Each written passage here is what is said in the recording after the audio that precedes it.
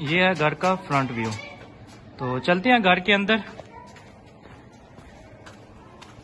तो ये है कार पोच काफ़ी बड़ा कार पोच है, बड़ी गाड़ी इजली पार्क हो सकती है. आप इससे कार पोच भी यूज़ कर सकते हैं एज अ हॉल भी यूज़ कर सकते हैं. तो ये देखें. नीचे देखें फ्लोर पे तो टवीरा मार्बल यूज़ हुआ है.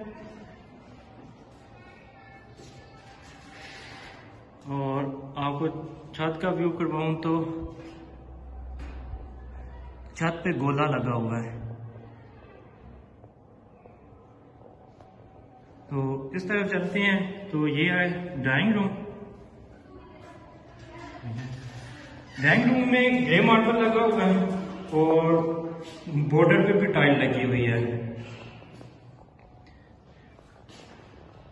और छत का आपको व्यू करवाऊं तो सीलिंग ये देखिए सीलिंग का इस्तेमाल हुआ है यहाँ पे। ये ड्राइंग रूम है।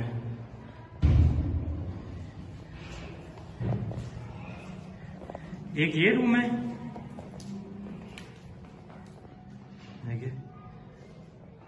किंग साइज़ बेडरूम है। बेड यहाँ पे बड़ा भी हुआ है, देख सकते हैं आप। और छत पे देखें तो गोले का इस्तेमाल हुआ है।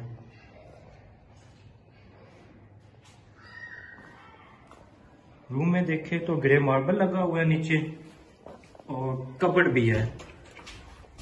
ये देखें। ये एक अच्छी ऑप्शन है रूम में कबड़ वाली।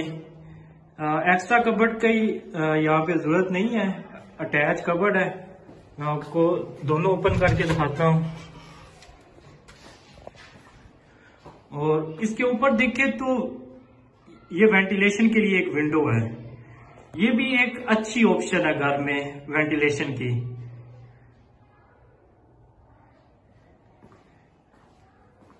तो आपको ये बोर्ड दिखाता चलूँ तो ये बोर्ड है। और डोर का डिज़ाइन आपको दिखाऊँ तो ये डोर का डिज़ाइन है। माशाल्लाह काफ़ी प्यारा डिज़ाइन है। और अच्छी क्वालिटी के डोर लगे हुए हैं। देख सकते हैं आप। हॉल में, जो हॉल में टवीरा मार्बल लगा हुआ है और जो रूम्स हैं, वहाँ पे ग्रे मार्बल है। इसके साथ देखिए तो ये बात है ओपन बात है ये। बाद में देखें तो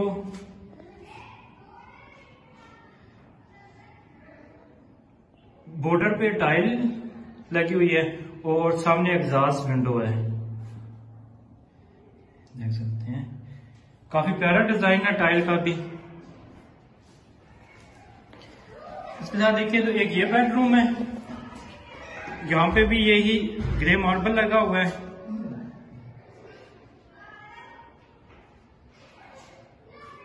और सेम छत पे गोला। गोले का भी डिज़ाइन अच्छा है, माशाल्लाह प्यारा डिज़ाइन है। और इस साइड पे आपको दिखाऊँ तो यहाँ पे भी कबड़ लगी हुई है। ये देखिए। ये भी मैं आपको ओपन करके दिखाता हूँ कबड़। ये देखिए। और इससे ऊपर देखें तो वेंटिलेशन के लिए विंडो है।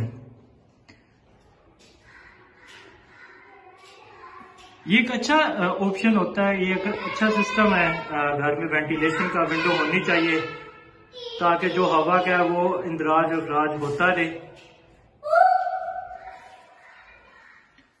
और बाकी मैं आपको रूम का व्यू करवाऊं तो दे सकते हैं। काफ़ी अच्छा बेडरूम साइज़ अच्छा रखा हुआ है इन्होंने। और दूसरा आपको एक ऑप्शन बताता चलूँ तो ये जो घर है, ये ओनर के सुपरविजन में बना है। उन्होंने किचन आप देख सकते हैं फर्निश किचन है, कपड़ लगी हुई है। देखिए। और देखिए, यहाँ पे भी टाइल लगी हुई है। ये देखिए बॉर्डर पे टाइल लगी हुई है यहाँ पे। तो मैं आपको कपड़ ओपन करवा के दिखाऊँ तो ये देखें ये शीन लगा हुआ है यहाँ पे, और ये देखिए सामने कपड़ है। नीचे आपको दिखाता चलूँ तो ये देखें ये एक ऐसा स्टोर बना हुआ है। यहाँ पे एक्स्ट्रा सामान रख सकते हैं आप। तो चलते हैं सेकंड फ्लोर पे। तो यहाँ पे देखिए जो स्टेज है, सीढ़ियों पे टबीरा मार्बल लगा हुआ है।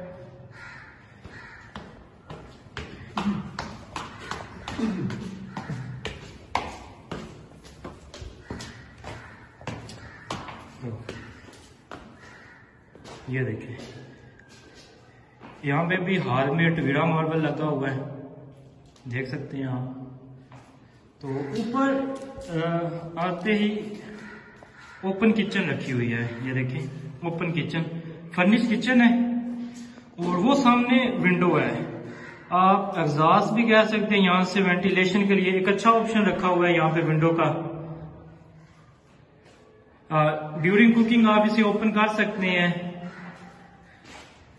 और रूम की तरफ़ चलें तो एक ये रूम है। यहाँ पे भी देखें तो ग्रे मार्बल है नीचे फ्लोर पे। और छत पे देखें तो गोले का यूज़ किया है।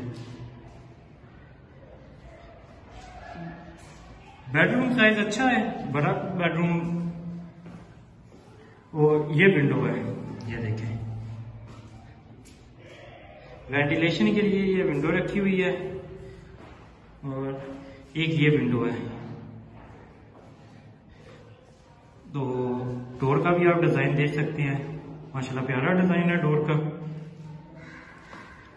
तो दूसरे रूम में चले तो उसके साथ बात है, ओपन बात है, ये देखें। बात का मैं आपको व्यू करवाऊं व्यू करवाऊं तो ये देखें। प्यारा बात बनाया हुआ है। डिज़ाइन अच्छा है। टाइल का डिज़ाइन देखे तो माशाल्लाह प्यारा डिज़ाइन है।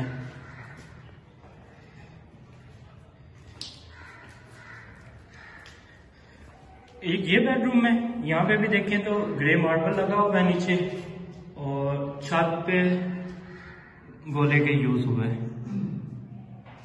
तो इस तरफ़ देखें तो ये है डोर डोर का भी डिज़ाइन प्यारा है। तो मैं अंदर से व्यू करवाता हूँ रूम का तो ये देखें। सेम यहाँ पे भी विंडो लगी हुई है वेंटिलेशन के लिए।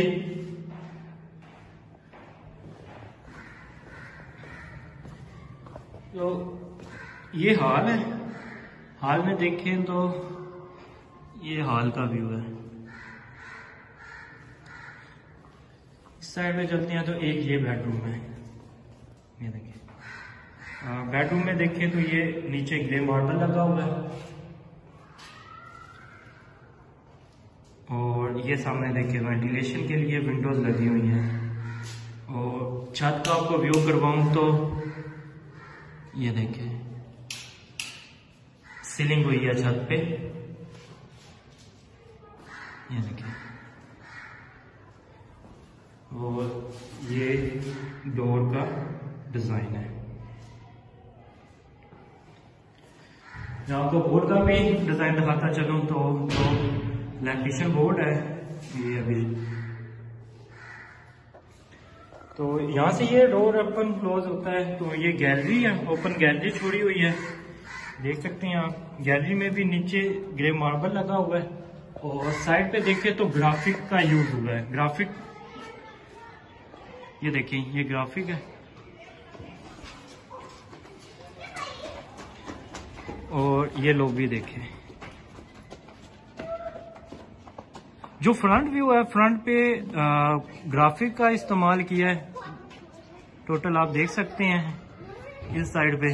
और ये एक आर्किटेक्ट देखे। यहाँ से हवा का इंदराज अखराज हो जाता है। तो चलते हैं छत की तरह। तो देखें जो नीचे वाली स्टेयर्स है, सीढ़ी है, वहाँ पे टूरा मार्बल लगा हुआ है और यहाँ पे ग्रे मार्बल है।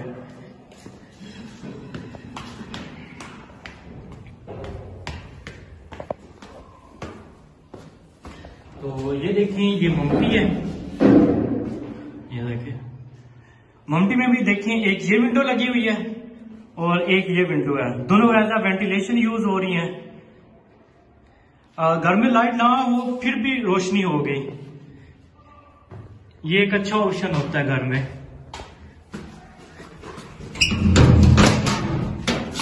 तो मैं छत का व्यू आपको करवाता चलूँ तो ये छत है। ये देखिए। और ये ममटी है। टैंकी देखें तो ममटी के ऊपर पड़ी हुई है टैंकी। और ये कार ये देखें। ये देखें, ये वॉल लगा हुआ है। तो मैं आपको आबादी का व्यू करवाऊं तो ये मुकम्मल आबादी वाला एरिया है। अराउंड में आप देख सकते हैं। मुकम्मल आबादी है यहाँ पे।